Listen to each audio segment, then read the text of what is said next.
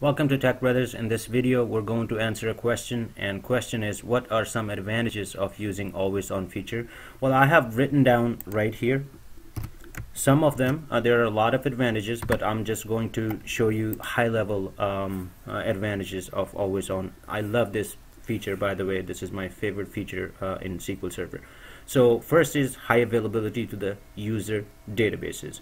Uh, before that, in high availability, we had uh, a SQL Server cluster. Uh, we had uh, um, log shipping. We had uh, uh, mirroring, and all that kind of good technologies back then. But in this, we have everything. Plus, we can um, specify more down to towards the databases so it's more gran granular to the databases uh, instead of uh, instance. And as I said that in previous um, uh, high availability clustering uh, the whole SQL Server instance needs to be uh, failed over all the databases including system databases um, needed to be failed over to the passive node. But in high availability group you can specify the databases and they will fail over um, just uh, in, in, in terms of groups so again specific databases can be put in one availability group.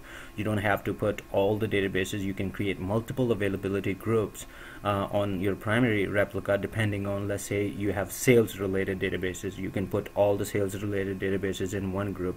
And you have uh, finance related da uh, databases. You can put all the finance related databases in one group. And depending on your DR scenario depending on your availability uh, scenario you can configure those databases to be available on secondary replicas. Third is failover is more specific to databases. I, I mentioned that earlier that you don't have to um, in in this uh, in always on uh, SQL Server um, instance doesn't really fail over. Actually, availability groups fail over. And uh, no more shared disk in, required in Windows failover clustering for SQL Server. Uh, before that, when we uh, were using failover clustering for SQL Server especially, we had to use a, shared disk. But now it can use local drives. Um, the next is uh, multiple read-only copies can be created to run SQL Server maintenance jobs. While you can run some of the SQL Server maintenance jobs on secondary replicas. Uh, again, 2012 has uh, three secondary replica limit and 2014 has seven secondary replica limit. And uh, some of the SQL Server maintenance jobs you can run on secondary replicas that is a big offload from your main production. The uh, next is main um, same thing that uh, you can run uh, this is the secondary replicas you can provide.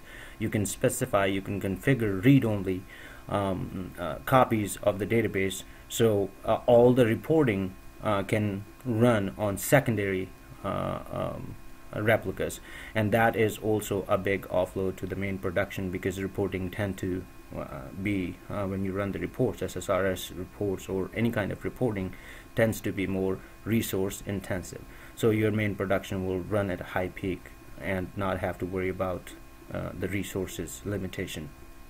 And uh, next is uh, multiple virtual names can be created. That's again on high availability side that you can create a, a listener and uh, then whether it's on primary replica or um, in sec on secondary replica application wouldn't know application will have always connection uh, set for uh, using listener name instead of actual SQL Server instance name. So these are a, a few advantages. Uh, there are a lot more advantages if you wanted to know the more detail on advantages of always on feature in SQL Server 2012 or 2014. Uh, you can always go on uh, Microsoft website and read more detail. I hope it helps.